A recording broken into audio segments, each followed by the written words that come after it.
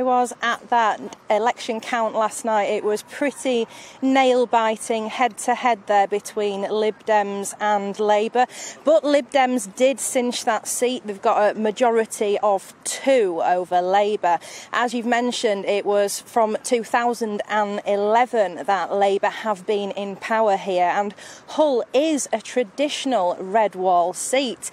You would have thought that they would be making hay in these local elections over the other parties. You've mentioned Partygate, resentment towards the Conservatives, but it wasn't the case. I spoke to the Lib Dem leader, Councillor Mike Ross, about his win last night, and this is what he had to say.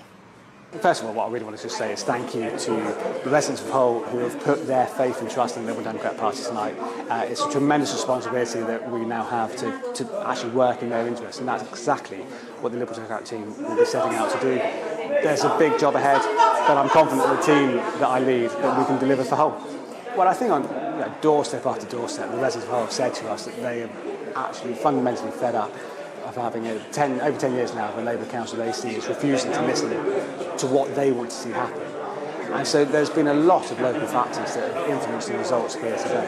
And you see the results we've won wards right across the city in this election, gained seats right across the city. And that's good news, of course, for us. Undoubtedly, there are national issues play. I think this uh, result here shows that the public of Hull uh, feel let down by a Labour council, but also let down by the Conservative government. And in sending a message to both, by voting for the Liberal Democrats to get the change that they want.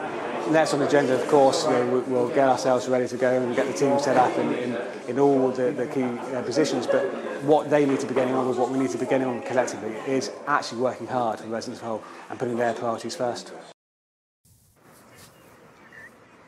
So, a great victory for the Lib Dems here in Hull. But with that small majority, they will have to deliver some real tangible results over the next year to show the voters what they voted for and that they will be putting their plans into action to make a difference across the city.